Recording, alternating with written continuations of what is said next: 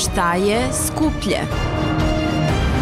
Oprostiti prevaru ili osvetiti se? Bračni trougao. Od utorka do petka u 21.30. Repriza oko 13.30 radnim danima.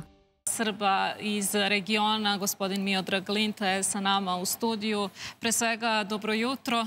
Dobro nam došli. Dobro jutro, hvala na pozivu. Evo, e, moram da pozdravim, e, pošto evo dok niste e, ušli u naš studio, mnogi iz Dalmacije mi pišu ovoga jutra, tamo smo veoma gledani. Nažalost, današnji dan, 5. avgust i jučerašnji, naravno, tokom celog ovog avgusta imamo ne tako Eh, dobru temu za razgovor, ali i temu o kojoj tekako treba da pričamo i evo, upravo, kao što kažem, pišu mi ljudi, danas su uz naš program i oni, nažalost, eh, dok eh, Hrvati slave, sede u svojim kućama.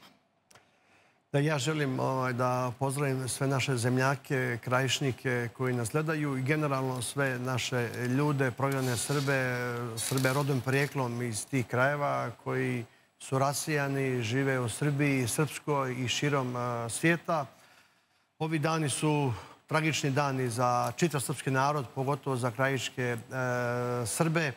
Dakle, juče je počela zločinačka akcija Luja, najveće etničko čišćenje u Evropi posle drugog svjetskog e, rata i završni čin protirivanja srpskog naroda sa područja današnje e, Hrvatske.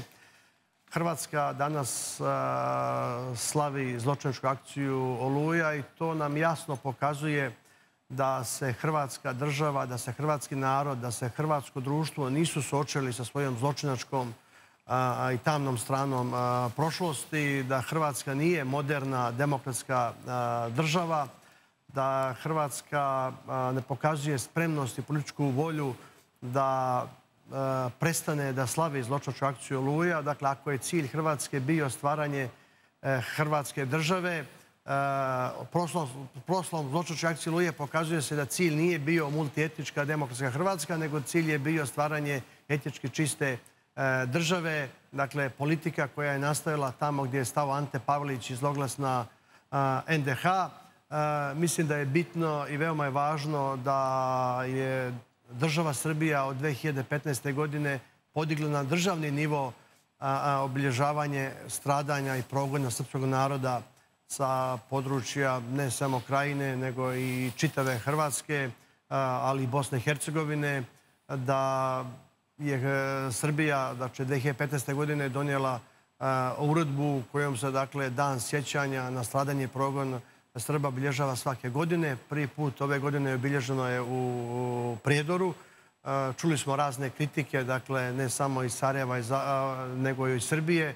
Treba jasno reći dakle, da je Prijedor i čitavo Potkozar je jedan stradalnički kraj srpskog naroda, e, narod koji je doživio nezapamćeni genocid u drugom svjetskom ratu. Predor je mjesto i kraj koje je dočekalo tu tužnu kolonu protranih Srba 1995. godine. Predor je mjesto gdje živi značajan broj prognanih Srba iz e, krajine i zato je velika stvar što je ove godine i održano dan sjećanja dakle, u Predoru.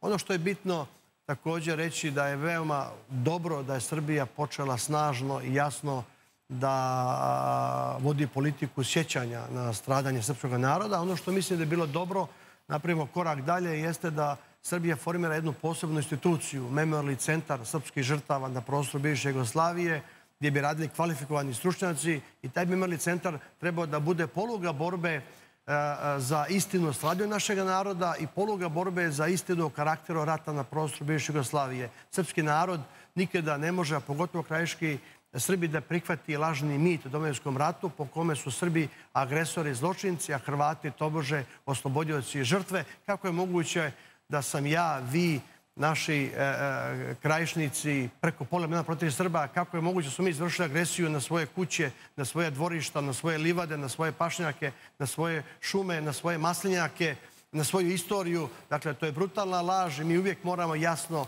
i glasno da kažemo da uzrok rata u Hrvatskoj nije bila nikakva agresija srpskog naroda. Uzrok rata u Hrvatskoj je bila oružana nasilna secesija prusušnog režima Franje Tuđmana, koji je, ponavljam, teo da stvori e, etički čistu Hrvatsku državu. Također je važno reći da Oluja, e, kao što sam rekao, je samo završni čin protarivanja srpskog naroda sa područja današnje Hrvatske.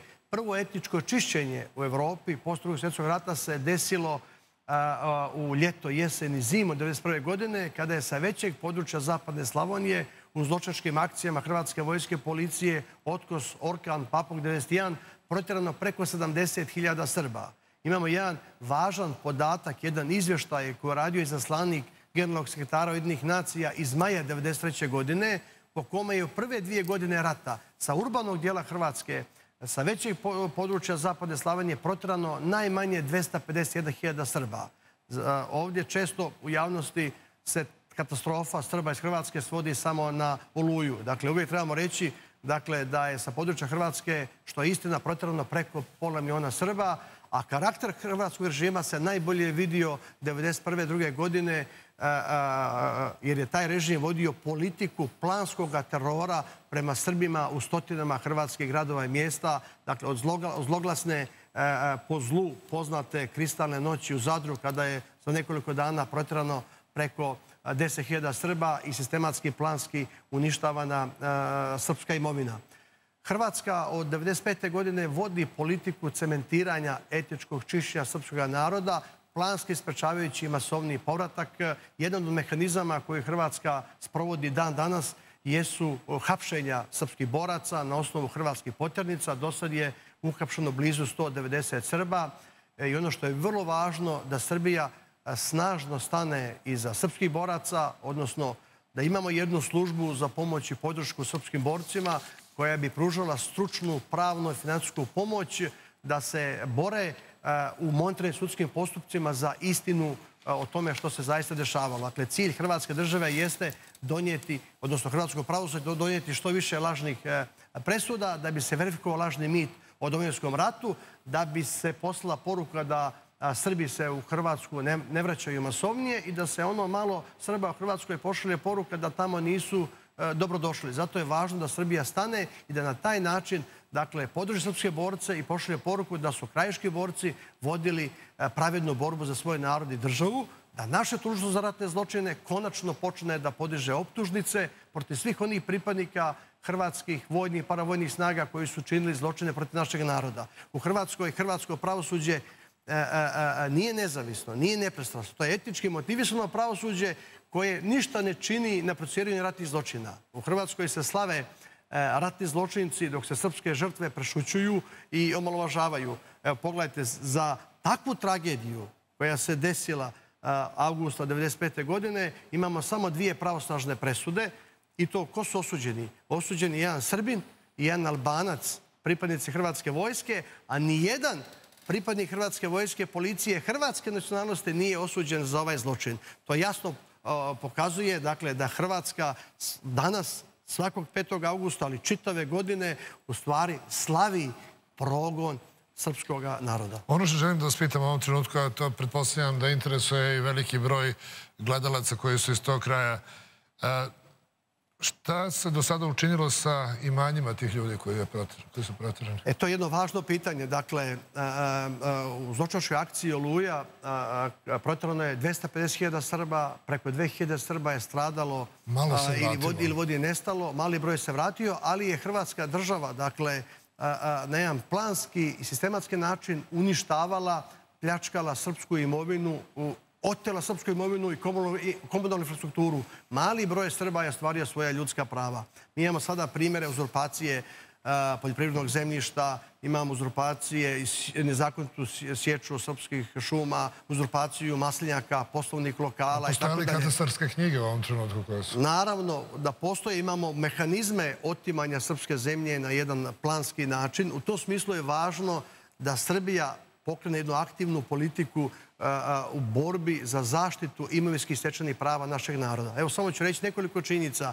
40.000 otetnih stanarskih prava, 50.000 penzionera, sada već njihovih potomaka kojima se duguju za ostale nesplaćene penzije, desetine hiljada Srba kojima nije u cijelosti priznat ratni staž, brojni primjeri otimanja srpske zemlje, preko 10.000 srpskih porodica najmanje kojima su srušene kuće u klasičnim turističkim akcijama po nizu hrvatskih gradova. Od Zadra gdje je srušeno 500 srpskih kuća koje su minirane, Bjelovara 700 i kažem u desetinama i desetinama srpskih gradova su planski rušene e, srpske kuće miniranjem u klasičnim turističkim akcijama. Dakle, šta je ovdje važno? Važno je da Srbija pokrene suštinski dijalog prema Zagrebu, ali i prema Sarajevu, da izisti...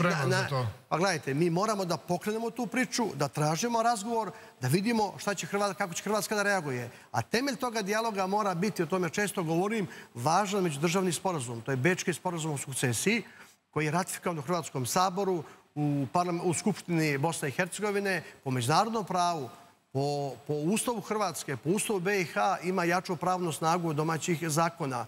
Taj Bečki sporazum o sukcesiji ima sedam aneksa, posebno je ključan aneks 7, aneks G, koji se zove privatna svojina i stečana prava i u njemu se kaže svim građanima, svim pravnim subjektima moraju biti vraćena i zaštitna prava koje su imali prije rata, tačnije na dan 31.12.90. godine, a svi ugovori pod pritiscima i pretnjama, a ima ih mnogo, moraju biti proglašeni ništavnim. Dakle, Srbija treba da pokrene tu borbu, pravnu, političku, diplomatsku. Mislim da bi bilo dobro da po uzoru na Kosovo i Metokiju da imamo jednu državnu kancelariju za Srbe regionu od Slovenije do Albanije, da u okviru te državne kancelarije imamo pravnu službu za Hrvatsku, pravnu službu za Bosnu i Hercegovinu, da u njoj jesam, da u njoj radi kvalifikovani pravni advokati koje će država Srbija da plaća, da naši ljudi, da svi prograni Srbi, da svi oštećeni građani, imamo dosta građana Srbije koji nisu tamo živjeli, ali imali su vikendice i druga imanja u Hrvatskoj, koja su im oteta ili uništena, da mogu svaki radni dan doći u svoju državnu kancelariju za Srbi regionu, dobiti pravni savjet, dobiti pravnu pomoć, da ti pravnici zovu nadležne institucije po Hrvatskoj u ime države Srbije, e, da se prave izvještaji godišnji e, o kršenju ljudskih prava i da ta kancelarija u ime države Srbije dakle, svakodnevno vodi ponavljam, pravnu, diplomatsku i političku borbu za naša oteta imenjska tečna prava. Nemoguće je da sam čovjek se bori protiv etički motivisanog pravosuđa u Zagrebu i Sarajevu. Znači, mi imamo primere gdje su naši ljudi pokrenuli sudske postupke, izgubili su sudske postupke za naknadu štete i ne samo da nisu stvarili imovinska stečna prava, nego su čak morali da plate hiljade, desetine hiljada evra naknade štete za izgubeni sudski proces. Gospodine Linton, koliko se to ostvari do kraja ove godine, koji period e, svi programi 1995. E, mogu da očekuju rešenje? Pa gledajte, ja sam pokrenuo tu inicijativu, ja ću apelovati, inzistirati kod vlade Republike Srbije da se ostaje takva državna kancelarija, da naš narod, ponavljam, svaki radni dan zna gdje može da ode, da ta kancelarija bude poluge borbe za naše prava. Ne znam da li ću uspjeti, ali mislim da je to jedini način da naš narod e, osjeti konkretno da je država stala iza njega, kao što je ova služba za pružanje pomoć e, e, srpskim borcima koji su optuženi za ratne zločine, da osjete da za njih stoji država na taj način. To je veoma važno i konačno želim da kažem, pošto jasno govorim o karakteru rata u Hrvatskoj, dakle da je uzrok rata prusaški režim Franje Tuđmana i oružena nasilna secesija, da Srbija ispravi veliku nepravdu i da konačno prizna sve pripadnike vojske i policije Republike Srpske krajine, odnosno da svim krajiškim borcima prizna ratni staž za čitavo vreme rata u dvostrukom trajanju. Krajiški borci nisu vodili privatan rat,